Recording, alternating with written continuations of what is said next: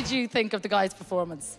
Yeah, that was uh, it was great. It was fun. It was uplifting. You know, Jennifer, tonight you upped your game quite a lot. I've more in me. I've more in me. And you know, before before both of you guys walked on the stage, I was full sure in my mind. I was like, oh, I said to Danny, I said, wait you hear this guy John. He's he's he's magic. Like you know, he's brilliant.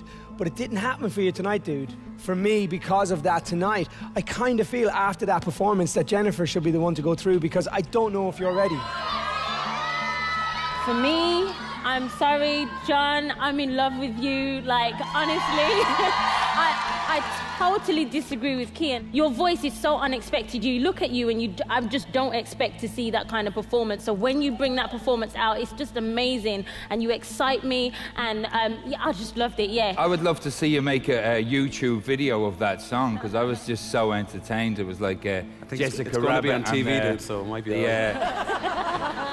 yeah, but get, get one of your own. Make your own thing.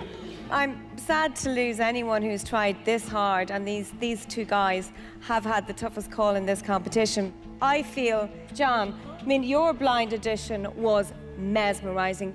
It had all the requirements of an artist. Jennifer, you had a tougher blind audition. It wasn't as strong, but you have come up 100% tonight. Sharon, Yeah. the decision is yours at the end of the day, and I am going to have to ask you for your decision now.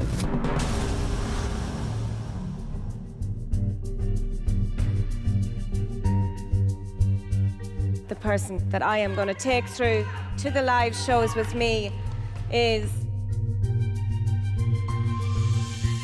John. All right, John, well done.